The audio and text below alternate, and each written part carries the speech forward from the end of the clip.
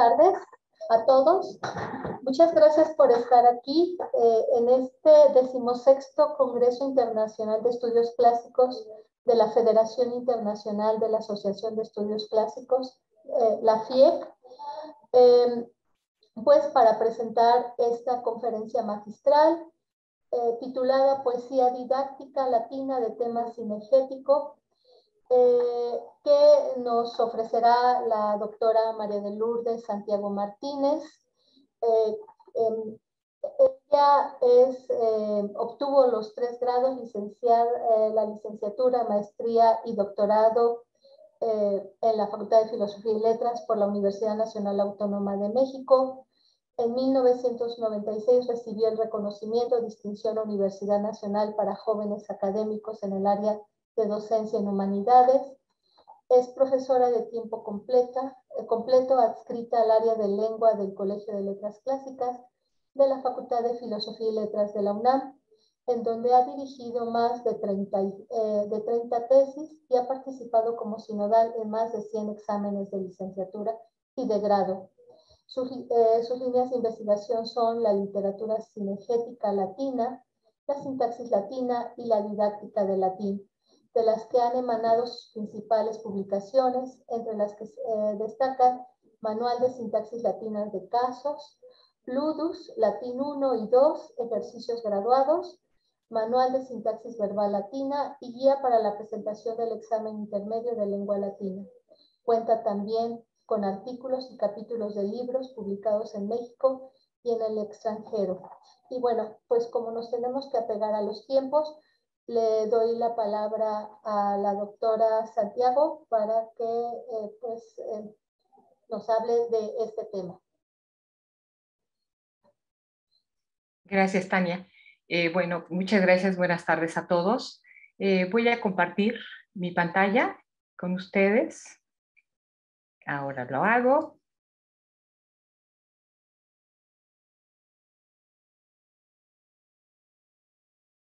Está.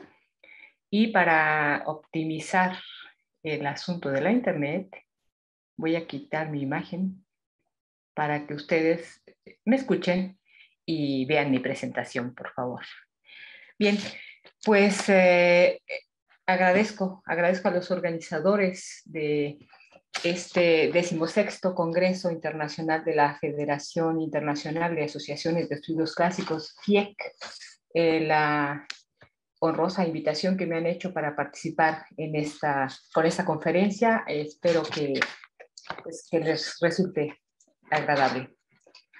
Eh, hoy, como lo indica el nombre de mi conferencia, hablaré de la poesía didáctica, de sus principales representantes en la literatura latina, de su estructura característica y de la identificación de esta en dos poemas latinos, el Kinegeticon de Gratio, autor del siglo I antes de nuestra era, y el Kinegeticon de Nemesiano, autor del siglo III. Valga recordar que el género didascálico o didáctico gozó de una gran difusión en la antigüedad, aunque su reconocimiento haya sido objeto de discusión incluso entre los propios antiguos. Ah, esperen un momento, eh, no puedo cambiar mi, imagen, pero ahorita la cambio. Ah, me tengo que... Eh, perdón. Eh, en especial, vean, les he compartido ahí una, la cita de Aristóteles a partir de de, esta, de este fragmento de Aristóteles en la poética, en donde el autor muestra su desaprobación con quienes designan con el nombre de poeta a un autor que trata una materia científica o técnica únicamente por haberlo escrito en hexámetros. Pese a la opinión de Aristóteles, siglos más tarde, Quintiliano en su Instituto Oratoria sigue incluyendo a poetas didácticos como Hesíodo, Arato, Lucrecio, Virgilio y Ovidio en su clasificación general de la poesía épica, porque incluso en su época no se lograba ubicar la poesía didáctica en un género propio, como señala López Andrade. Yo les voy a ir mostrando eh, algunas imágenes, algunas citas en su forma original, pero les voy a dar mi traducción para que ahorremos un poquito de tiempo. Entonces dice, la crítica literaria en la antigüedad grecolatina no reconoce un ámbito específico para la poesía didáctica. No se encuentra una conceptualización clara del género ni de sus características propias. Es significativo el hecho de que haya sido Servio, apenas en el siglo IV, el primero en utilizar en latín un término específico para referirse al poema didáctico o al género didáctico. En efecto, Servio utiliza al inicio de su comentario a las geórgicas de Virgilio una palabra de origen griego, didascalique, para referirse a la poesía didáctica.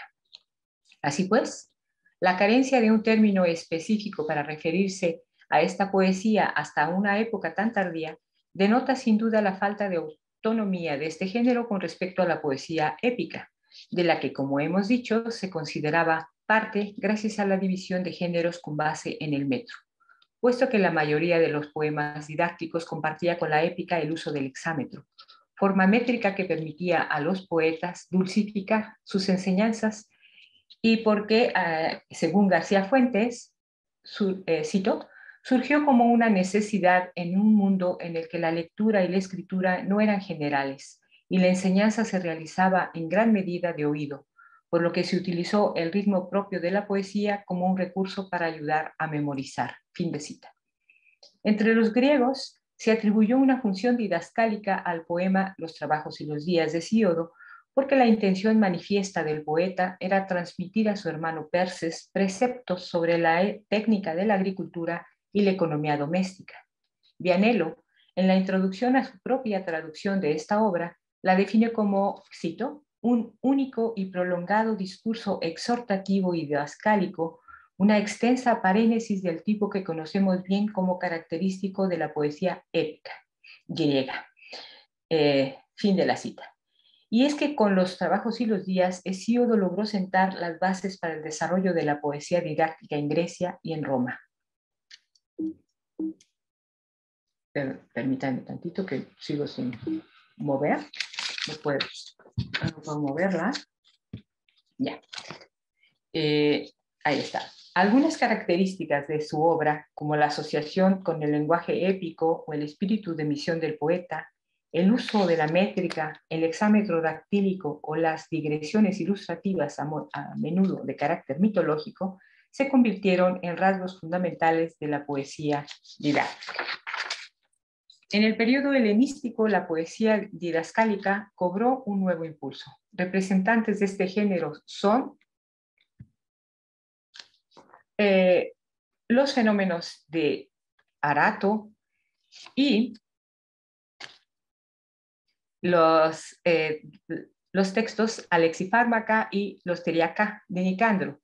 Sin embargo, para comprender las enseñanzas de estos poetas era preciso que el destinatario fuera capaz de reconocer cada docta referencia mediante, mediante la cual el poeta establecía con él un refinado juego, porque la ostentación erudita era parte integrante de la búsqueda estética. Y, según palabras de Perutelli, cito, la función didáctica es un homenaje externo a la tradición del género, ya no una instancia real del texto. Fin de la cita. El género didascálico desarrollado por los poetas helenísticos fue bien recibido por los escritores latinos, quienes, por las características propias del pueblo romano, se interesaron en especial por temas de carácter técnico-práctico, ya fuera con una verdadera intención de transmitir una enseñanza, ya fuera solo como un ejercicio de erudición acorde con el modelo de la docta poesía alejandrina.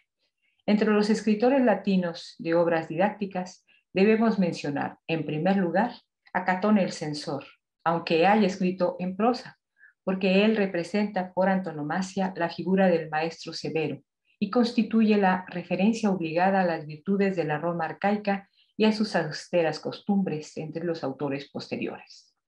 La única obra suya que llegó completa hasta nuestros días es De Agricultura, un manual de preceptos prácticos dirigidos a su hijo, una serie de apuntes y recetas que Catón fue conformando en el transcurso de su vida. Ahora bien, el primer poeta didáctico reconocido entre los latinos fue Enio, contemporáneo de Catón, pero afiliado política y culturalmente a los enemigos de este, el círculo de los escipiones, admiradores y émulos de la cultura helenística. A la manera de los poetas alejandrinos, Enio escribió un poema didáctico Edifagética, sobre exquisiteces culinarias, que se cree que pudo ser una traducción o una parodia del poema Edifateia de Arquestrato de Gela. Los fragmentos que han llegado hasta nuestros días permiten constatar que se trata de un recorrido gastronómico por los platillos más exquisitos, al tiempo que el poeta hace gala de su erudición geográfica. Sin embargo, el intento de Enio por emular la poesía didáctica de la época helenística es interrumpido por la aparición de la obra de Lucrecio, quien, en lugar de tomar como modelo a los alejandrinos, decidió volver atrás en el tiempo y recurrir al modelo de poetas filósofos como Parménides o Empédocles, quienes en los siglos VI y V de nuestra era, perdón, antes de nuestra era respectivamente, habían utilizado el hexámetro para transmitir sus doctrinas. Aunque en el caso de Lucrecio, debemos tomar en cuenta de que a diferencia de los poetas jónicos, él divulgó no su propia doctrina, sino la de Epicuro, y la transmitió mediante su gran poema didáctico de Rerum Natura, integrado por casi 7.500 hexámetros, en los que buscaba, con base en la filosofía epicúrea, liberar a los hombres del miedo a los dioses y a la muerte.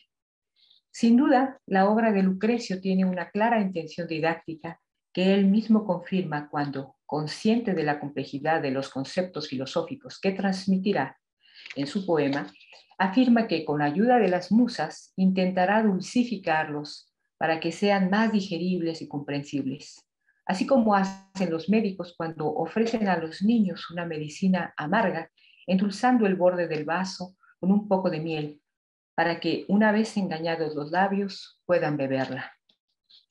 Como continuación inmediata del de Rerum Natura de Lucrecio, se encuentran las Geórgicas de Virgilio, quien mediante esta obra buscó proporcionar apoyo ideológico al régimen eh, político que estaba en vías de consolidación, el imperio, puesto que el programa de gobierno de Octaviano contemplaba el repunte de la agricultura y la búsqueda de un modelo ético adecuado que, ante el caótico activismo político de finales de la República, fomentara una conducta moral capaz de restablecer en Roma las virtudes arcaicas.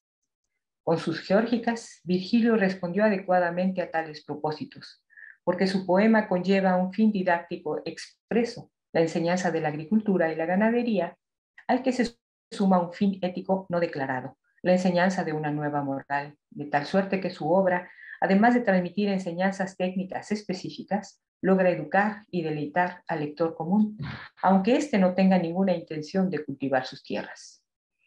Las geórgicas fueron escritas entre los años 30 y 38 antes de nuestra era y constan de más de 2.000 hexámetros distribuidos a lo largo de cuatro cantos. El primero consagrado al cultivo del campo, el segundo a la arboricultura, el tercero al ganado mayor y menor y el cuarto a la apicultura. En estos contenidos podemos encontrar reminiscencias de los poemas didácticos alejandrinos, por ejemplo en las secciones propiamente técnicas, donde el poeta enseña a cultivar el campo o a criar el ganado, o incluso en la incorporación de un fragmento traducido de los fenómenos de Arato. Es indudable la afinidad temática con los tratados de agricultura de Catón y Rerum Rusticarum de Barrón, pero hay también muchos elementos novedosos, como descripciones concretas que visten su mensaje de realismo o digresiones sobre temas políticos, como la, muerte de César o las guerras civiles, que sirven de pretexto a Virgilio para transmitir el mensaje ideológico de Augusto.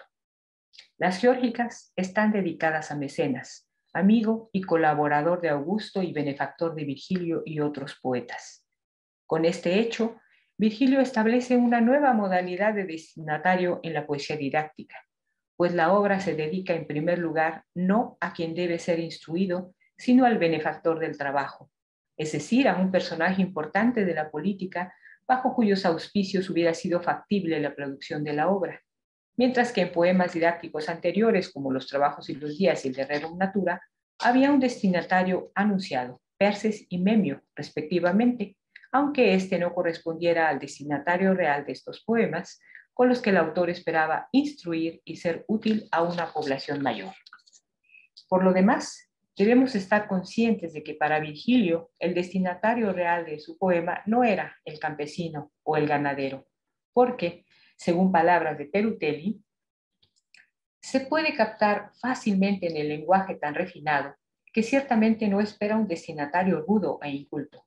Será entonces un público profundamente culto formado por la clase dirigente, política e intelectual de Roma que debía ser conquistada por el nuevo régimen. Aunque hay mucho que comentar acerca de la obra didáctica de Virgilio, no es este el momento oportuno para hacerlo.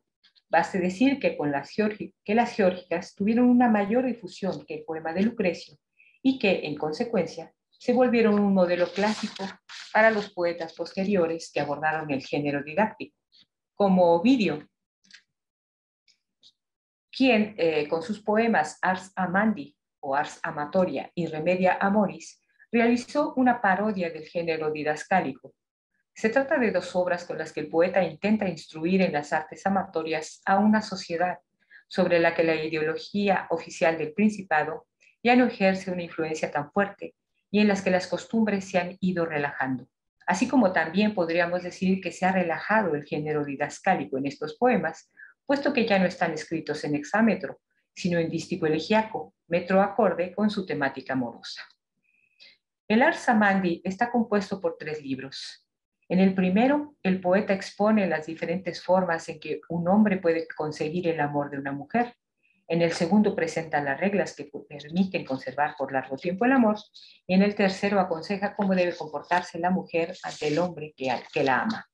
Los remedia amoris, por su parte, enseñan cómo debe comportarse quien sufre por amor y quiere dejar de amar. Aunque tradicionalmente ambos poemas han sido definidos como obras de contenido superficial y ligero, Bonifaz Nuño considera que tras esa aparente frivolidad se presenta, cito, un vasto panorama de emociones y pensamientos donde bajo la apariencia ligera buscan salida tristezas trabajosamente dominadas y esperanzas de conseguida sabiduría, y se manifiestan la experiencia del dolor humano y el conocimiento nacido de una mirada amplia y hondamente depositada en el conjunto de las cosas. Fin de la cita.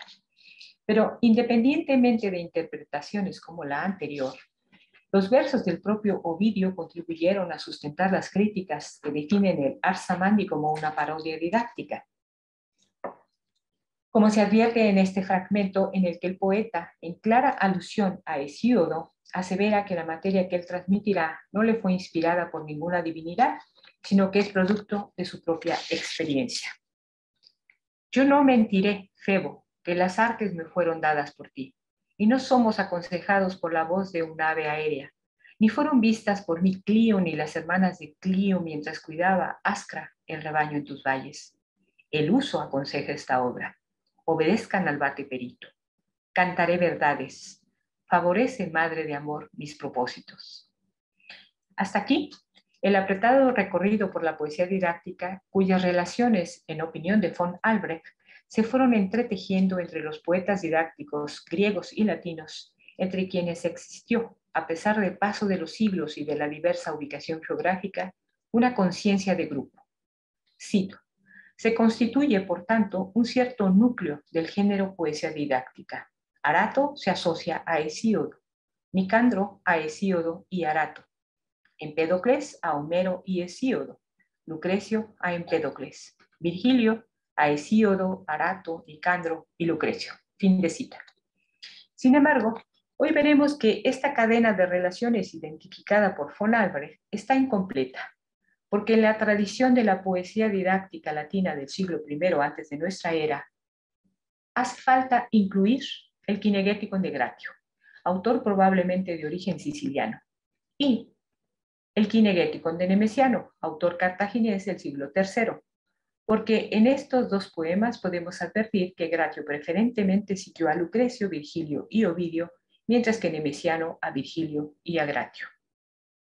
Con su Kinegéticon, cada poeta buscó transmitir una enseñanza. En efecto, a partir del nombre de estos poemas, eh, se entiende que transmitirán la técnica de cazar con ayuda de perros, puesto que kinegeticon deriva del sustantivo griego ge kinegetike, que está formado a su vez a partir del sustantivo kion, perro, y el verbo hago, conducir, y en tal sustantivo se sobreentiende el término tecne, técnica. Sin embargo, dado que ambas obras han llegado a nosotros en forma fragmentaria, solo encontramos en ellas alguna información técnica sobre la elaboración de redes y espantajos de caza y están dedicadas en gran parte a los consejos sobre la selección, crianza y cuidado de los perros, y con un desarrollo menor a las crianzas equinas aptas para la caza. En cuanto a las fuentes de Gratio, así como Virgilio tomó como base los tratados de agricultura de Catón y Rerum Rusticarum de Barrón para el desarrollo temático de sus geórgicas, Así Gratio tendrá como fuente principal para el desarrollo de su obra el tratado en prosa Kynegeticon, escrito entre los años 392 y 388 antes de nuestra era y atribuido a Genofonte o pseudo-Genofonte, puesto que coincide con él en los siguientes temas. Origen divino de la caza, héroes que la practicaron, descripción del equipo del cazador, descripción de tipos de redes, razas de perros cazadores, cualidades y defectos de cada raza, reproducción, crianza y adiestramiento de los perros, tipos de presa, liebres, ciervos y jabalíes. Otra coincidencia temática entre ambos autores es que Genofonte dedica dos capítulos de su obra a la exposición de las bondades de la caza como forma de adiestramiento para la guerra en tiempos de paz, y con este fin invita a los jóvenes a que la practiquen. Y aunque Gratio no establece la relación de la caza con la guerra en forma directa, sí caracterizó la actividad venatoria como un escenario bélico, mediante el recurso retórico de la alusión, eh, a través de metonimias, metáforas y, alegorías con las que relaciona la caza, venatio, y la guerra, velum. Para él la presa, fera o praeda, es siempre un enemigo, hostis, y el perro, canis, es el compañero que sirve de ayuda, auxilio al cazador, como una más de sus armas, de las armas de las que dispone y con las que habrá de librar batallas, a través de las cuales, sin duda, alcanzará el honor y la virtud, al igual que un general al término de un combate victorioso. No me referiré aquí a los múltiples paralelos del poema gratiano con la obra de Lucrecio, Virgilio y Ovidio, que ya han sido empleados en diversos estudios como testimonio para establecer la época de creación del Kinegeticon y para aseverar que Gratio fue también un escritor del siglo I antes de nuestra era. Paralelos que demuestran que Lucrecio, Virgilio y Ovidio se constituyeron el modelo poético métrico de Gratio, quien supo entresacar de sus obras frases que sin dejar de ser congruentes con el contexto de su propio poema, ocuparan espacios métricos precisos, tales como el inicio o el final del exámetro. De los tres autores, Gratio muestra preferencia por Ovidio, en especial por su obra didáctica Ars Amandi.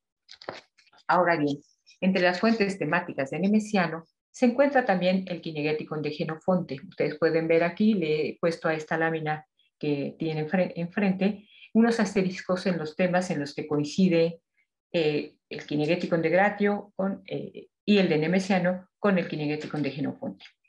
En lo que se refiere a la expresión y al metro, Duff considera indudable que Nemesiano tuvo como modelo a Virgilio y Correa añade que imita en particular la Geórgica tercera y que Gratio fue su principal fuente latina. Cabe señalar que los poemas didácticos de diversas épocas presentan unas características estructurales similares que los vinculan entre sí, más allá de la materia en la que pretenden instruir, a saber, intención didáctica, invocación a la divinidad patrona, presencia del poeta educador y del destinatario discípulo, dedicatoria y digresiones. Veamos ahora en qué medida nuestros poetas plasmaron en sus poemas cinegéticos tales características estructurales. En lo referente a la intención didáctica, en cada kinegético se identifica fácilmente el tipo de enseñanza que el poeta desea transmitir. Hace énfasis en su intención didáctica al utilizar una estructura anular en su poemio, en cuyos versos inicial y final leemos Dona cano divum, laetas venantibus artes, canto dones de dioses, artes alegres a quienes cazan. Carmine et armadavo et venandi persequar artes, y con canto armas daré y artes del cazar perseguiré. De igual forma, Nemesiano Utiliza los tres primeros versos del poema de su kinegética. Buenantica nomileguias y laresque labores, discursus cuequitos, securi proelia ruris pandimus. Canto las mil vías del cazar y las labores gozosas y las prontas carreras, combates del campo seguro, explicamos. En efecto, como ya hemos mencionado, ambos poemas ofrecen consejos sobre la elaboración y colocación de redes y otras trampas para la caza, y dedican una parte fundamental de su contenido a los instrumentos vivos que auxilian al cazador en sus actividades, los perros y los caballos, aunque estos últimos consagran solo unos cuantos versos y en cambio describen ampliamente las razas caninas, así como sus enfermedades y posible cura.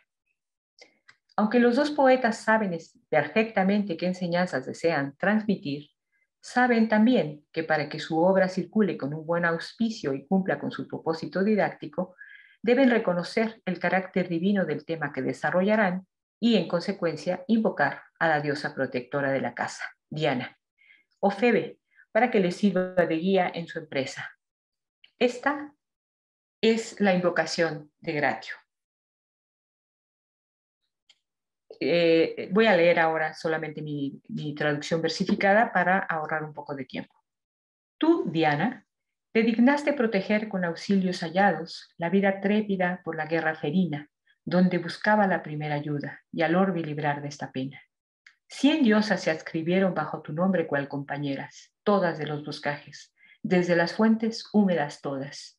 Las náyades y los sátiros de Lacio y Fauno llegaban, y el niño Menalio y domadora de leones la madre de Lida, y Silvano, quien con inculta rama se alegra.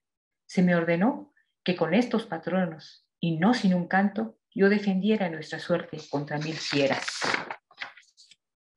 Tres siglos más tarde, Nemesiano hace lo propio. Sin embargo, es importante señalar que, a diferencia de Gratio, Nemesiano no dedica los versos iniciales de su poema a Diana, sino a Apolo en su calidad de dios patrono de los poetas, quien lo fuerza a abordar un en, en su poema un tema inusitado, el tema cinegético, lo que nos permitiría afirmar que nunca practicó la caza, aunque también sabemos que protege, prometer originalidad era un tópico para atraer la atención de los destinatarios. De manera que Nemesiano introduce la invocación a Febe y su comitiva hasta el verso 86, casi como cierre de su extenso proemio. Al menos tú, que plácidos sotos y bosques recorres, Febe, magna honra de la tona, vamos, toma tus hábitos usuales, el arco en tu mano y la aljaba pintada suspende de tus hombros. Haya áureas lanzas y flechas. Se equipen tus cándidas piernas con coturnos bermejos estela clámide compuesta por muy dorado tejido y fruncido dos pliegues. Tu cinto te oprima con nexos enjollados, recoge en la diadema tu pelo trenzado. Que las afables náyades y, madurando con verde juventud, te asistan las dríadas y las ninfas de donde el agua los ríos y que eco a las oreadas dócil responda. Ea, diosa, guía a tu bate por los frondosos sitios fragosos. Te seguimos, abre tu casas y guaridas de fieras. Si nos detenemos un momento en las dos invocaciones, veremos que Gratio adscribe al cortejo de Diana a Kentum Diwae, entre las que están incluidas, como ocurre tradicionalmente, las dríadas y las náyades. Sin embargo, nuestro poeta añade al cortejo los siguientes personajes. Los sátiros latinos, Lati Satiri, divinidades campestres menores relacionadas con el culto primitivo de la naturaleza. Fauno, Faunus, un antiquísimo dios latino cuyo culto estuvo localizado en el Palatino o en sus alrededores. El niño Menalio, Maenalius Puer, perífrasis con la que el poeta alude al dios Pan para no cargar su poema de referencias helenas directas. Con la perífrasis Domitrix Domitrix Idaea Leonum Mater, Gratio se refiere sin duda a Cibeles, la gran diosa frigia que con frecuencia es llamada Madre de los Dioses o Gran Madre Cibeles, a quien incorpora el cortejo de Diana, porque al igual que ella habitaba en las montañas y su poder se extendía sobre la naturaleza entera. Y por último a Silvano. Silvanus, otra divinidad romana que preside los bosques, que con dificultad se distingue de Fauno, y que en el panteón romano helenizado fue identificado con Pan. Es evidente que la visión de estos personajes, en particular de los sátiros latinos, de Fauno y de Silvano, Gratio busca nacionalizar la figura de la diosa Diana y asegurar la mejor recepción de su poema entre los habitantes de Lacio, quienes de otra manera verían el cortejo como una serie de divinidades extranjeras ajenas a su realidad cotidiana y en consecuencia a sus intereses. En cambio, Nemesiano, aunque también invoca a la diosa cazadora, nunca la llama Diana, sino que la nombra mediante la advocación que más la acerca a su hermano Apolo, Febe, Foebe, la brillante, epíteto que corresponde a la luna, así como Apolo es llamado Febo, Foebus, para aludir al sol. En el mismo verso emplea la perífrasis Latonae magnum decus para referirse a la diosa. Sin embargo, al colocar a la titánide Latonae en la primera sede hexamétrica, el poeta le da un lugar preeminente frente a Diana y, con su mención, nos remite una vez más a Apolo. Por otra parte, el cortejo de Diana sirve a Nemesiano para desarrollar un bloque temático a manera de un ejercicio retórico de imitatio sobre un tema tradicional de la literatura clásica, la casa, puesto que en solo tres versos enlista cinco deidades protectoras de los bosques y de la casa, las náyades, las dríadas, las ninfas oceánicas, o para algunos investigadores las, las potámides, las oreadas y eco.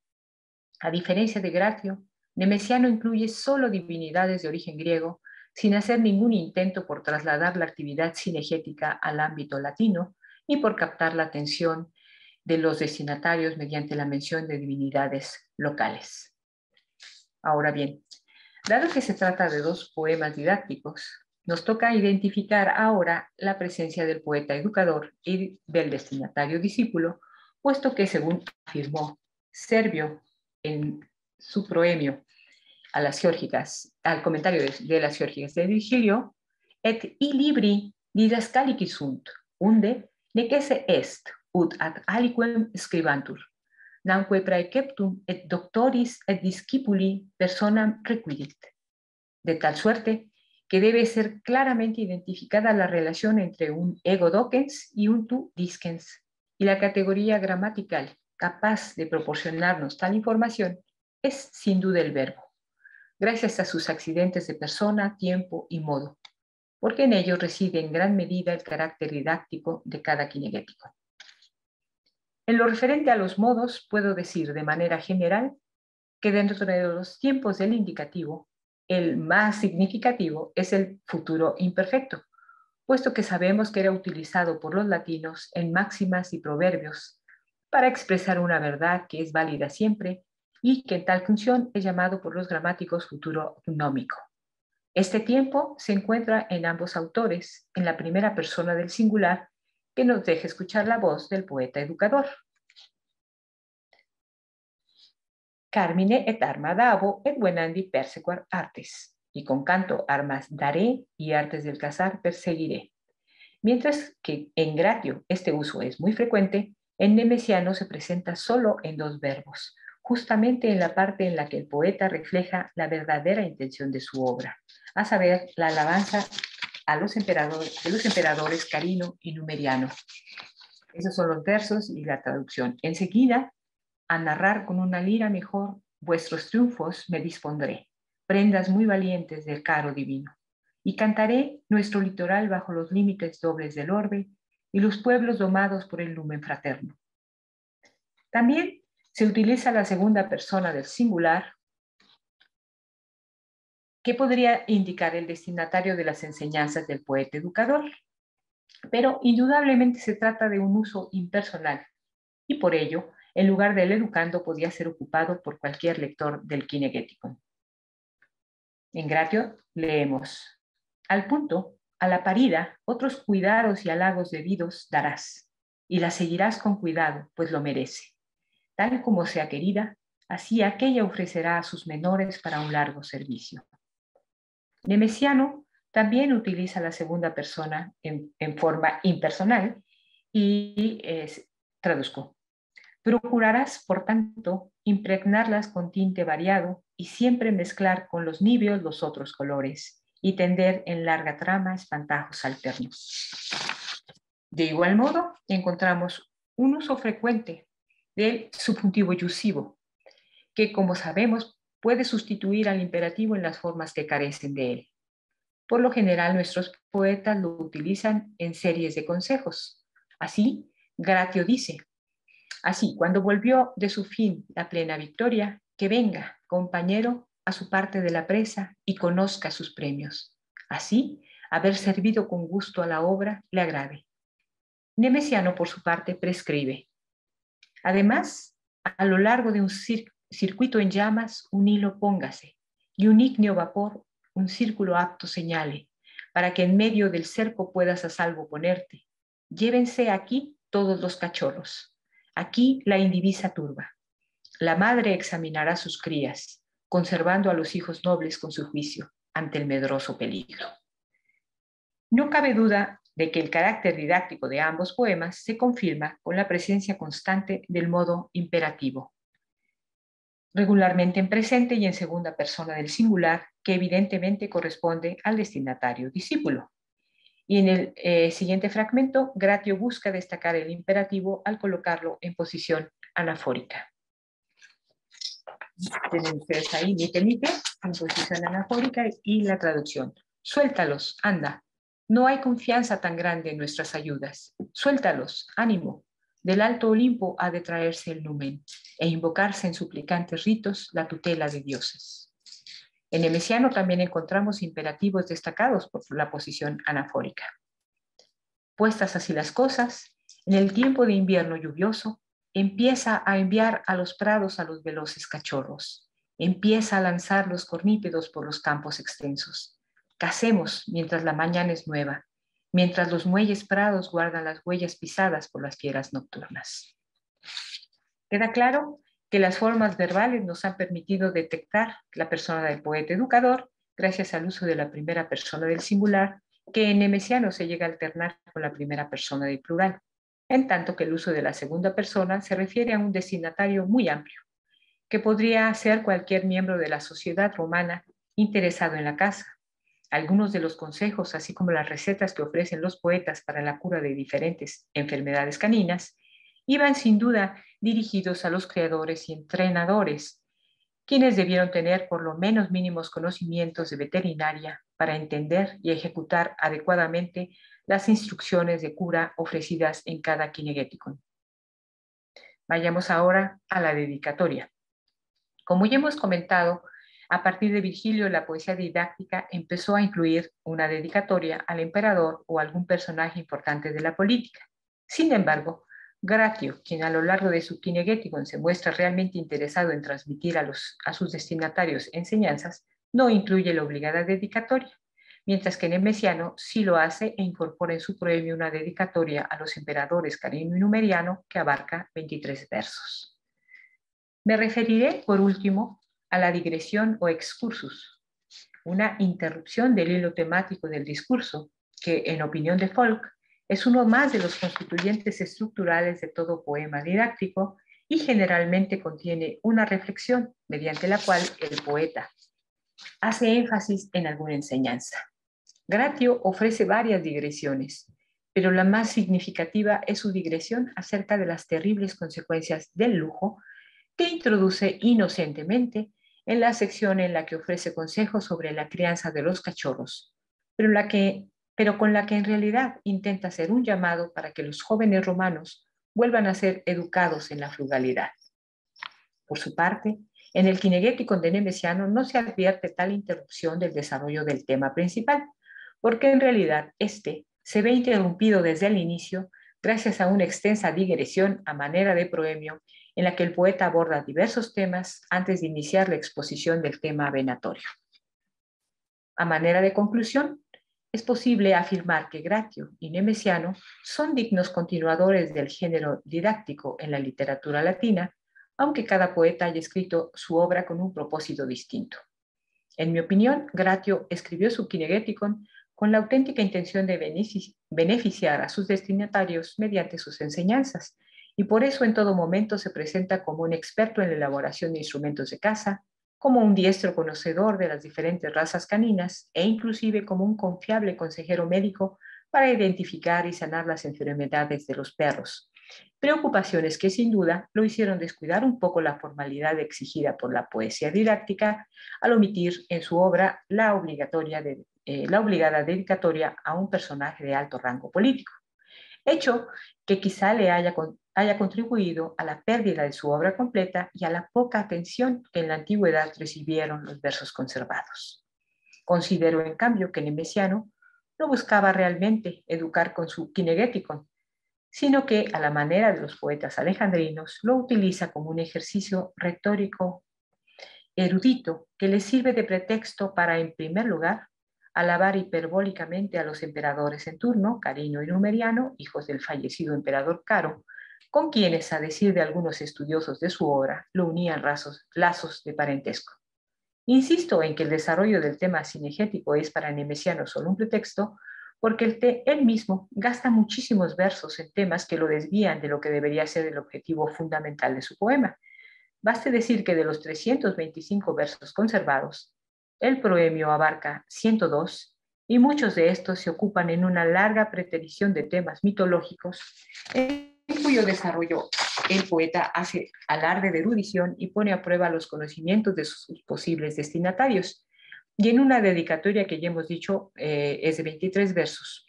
Y puesto que en el siglo III los dioses ya han pasado a ser para los poetas solo figuras ornamentales, y el cartaginés en ningún momento reconoce la casa como un regalo divino, ni tampoco atribuye a los dioses en general, ni en particular a Diana, su invención y transmisión en beneficio del género humano. Muchas gracias. Bueno, voy a dejar de compartir eh, pantalla. Para... gracias. Sí, sí, eh, para ya mostrarme y, si tienen, y dejar a Tania hablar. Ya. Muy bien. Muchas gracias, Lourdes, por esta hermosa exposición. Aunque fue un apretado recorrido, eh, creo que fue maravilloso todo esto que expusiste. Eh, y además hablar de estos dos autores, que pues sé que es un trabajo de mucho tiempo, exponerlos eh, de manera comparativa tan precisa, eh, y, de, mostrarnos todo este, como una especie de índice, ¿no? Desde eh, para qué sirven eh, estas obras específicamente, a quienes están invocados, las dedicatorias y pues la utilidad que tendrían. Bueno, estamos ya en tiempo.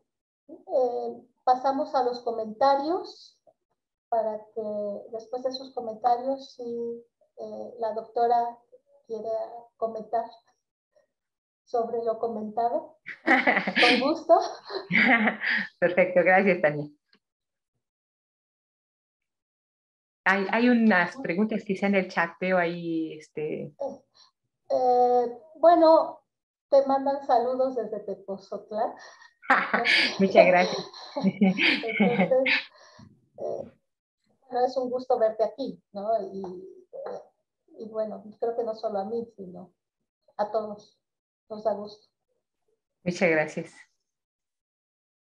Bueno, pues eh, yo estoy a sus órdenes si tienen alguna pregunta y sobre todo yo creo que tendría, ah, Ana Berta tiene un, una eh, pregunta. Sí. Sí, adelante. Está el micrófono apagado. Sí. Ana Berta, ¿puedes activar tu micrófono? Ah, sigue apagado.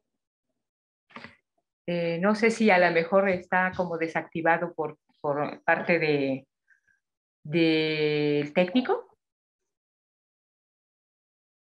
Ah, no sé, Arturo. A ver, déjame poner si está en nuestra seguridad. La, la dejamos que hable. Así Listo, ya lo pueden hacer. Ya. Muchas gracias. Eh, yo tenía una pregunta. Por ejemplo, hay casi 100 años de diferencia entre los autores. Dos siglos en realidad. dos siglos y medio. Exactamente. Y em, yo, yo me preguntaba, ¿cuán originales había sido, por ejemplo, Gratio con relación a autores anteriores a él? ¿Y cuán original había sido Nemesiano, eh, no solo con esta influencia de Gratio? Sí, eh, mira, eh, Gratio es el primero que escribe un poema didáctico sobre casa. Entonces, digamos, no es original porque nosotros en la literatura clásica sabemos que todos los temas son recurrentes, entonces no es propiamente original porque él tiene como base el kinegético de Genofonte, pero lo que es original en Gratio es el ponerlo, en plasmarlo en hexámetros y el, y la descripción tan técnica, por ejemplo, de las, de las redes, en fin, esto no lo había hecho nadie antes que Gratio. ¿Qué pasa con Nemesiano? Nemesiano eh, ya conoce no solo la obra de, de, Genofonte o la de Gratio, ya tiene también el, el, el kinegético. Entonces, de estas obras previas, él puede sacar lo mejor, porque en realidad lo que hace Nemesiano es un excelente poema pero un poema eh, no exactamente técnico. O sea, mientras que Gratio eh, ha sido capaz de describir la hechura de una red hasta el punto que se han, hecho eh, reproducciones, digamos, de, las redes a partir del texto de Gratio, Nemesiano desarrolla el tema de las redes en, ocho versos, por ejemplo, ¿no? Entonces, hay originalidad, pero cada uno tiene una razón diferente de ser eh, original también, ¿no? Así como yo decía en mis conclusiones, Gratio sí quiere enseñar cacería, bueno, o instrumentos de caza, y Nemesiano quiere demostrar que es un excelente poeta. Esta diferencia entre eh, la finalidad de cada uno es eh, lo que podríamos observar en los cambios gramaticales que emplean. Los ejemplos que nos diste sobre futuro, el subjuntivo, el usivo, el imperativo, etcétera. Eh, mira, la diferencia es en muchos aspectos, claro, en la lengua se va, se va a notar, pero son, estamos hablando de Gratio, está inmerso en un mundo realmente pagano, ¿no? O sea, para él los dioses son dioses. Y para él, eh, o sea, su, poema está lleno de, esa religiosidad y de esa fe en sus diferentes dioses, no solo en Diana, sino en Vulcano, en fin. Mientras que para Nemesiano los dioses ya no, no, son, los, no son más que adornos. Entonces, por ejemplo, hay, pues, hay diferencias léxicas, hay diferencias filosóficas, hay diferencias en todos aspectos. Lo único en lo que habría coincidencia, por supuesto, es en el tema y en el tratamiento de algunas de las razas de perros, en fin, ¿no? Gracias. No, de nada. Muchas gracias. Eh, ¿Alguien más? Todavía tenemos dos minutos. Bueno, les quería de ver, Tania, yo aprovecho, Tere, creo que eh, Tere tiene una pregunta, pero yo quería antes disculparme porque no traté a Fracastor. O sea, yo había prometido en mi resumen, si alguien leyó el resumen, que iba a hablar de tres poemas, pero dejé la, de lado el Alcon, porque ya me pareció demasiado. Bien, Tere, perdón. Eh, muchas gracias. Este, pues nada más felicitarte y, y bueno, recordar que este ha sido tu, pues eres la única, yo creo que trabaja este tema, ¿no? Aquí en México creo que sí, Tere. Sí, sí, desde, ahora sí que desde chiquita, ¿no? La licenciatura. Desde chiquita, sí, me, encantan los, estos poemas y, y, bueno, me he acostumbrado mucho a este tipo de, de poesía didáctica y bueno, he tratado de, de, plasmarla también al español con mis versificaciones, aunque suene un poco cucho a veces en la traducción. Sí, bueno, pues era nada más para felicitarte. Muchas gracias. Y bueno, también por la persistencia en el tema y, que pues aunque eres la única que lo trabaja, pues eh, sigues, sigues adelante con eso. Pero fíjate que tiene, eh, Gratio sobre todo, tiene ahora un montón de investigadores dedicados a él, ¿eh? Mm. Sí, porque cuando tú presentaste... otro libro y, y seguirá nuevas ediciones de Gratio y, también de Nemesiano. En 2014 hubo una nueva edición de Nemesiano. Mm. Bueno, pues nada más era eso. Gracias. Sí. Ah, perdón, alguien me está, este, me está pidiendo. Ah, ah directamente porque creo que este, en el chat dice, ah, dice, ¿podría presentar eh, la antepenúltima positiva, por favor?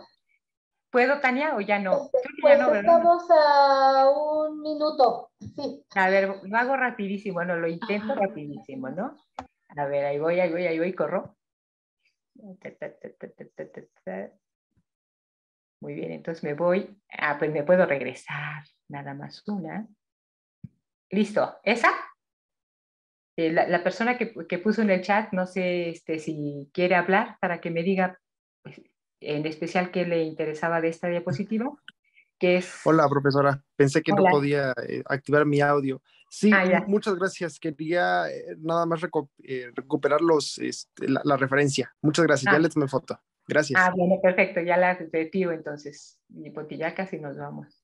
Sí, ya estamos en tiempo. Pues muchas gracias, muchas felicidades, Lourdes, por esta exposición tan magnífica. A mí me pareció muy bella.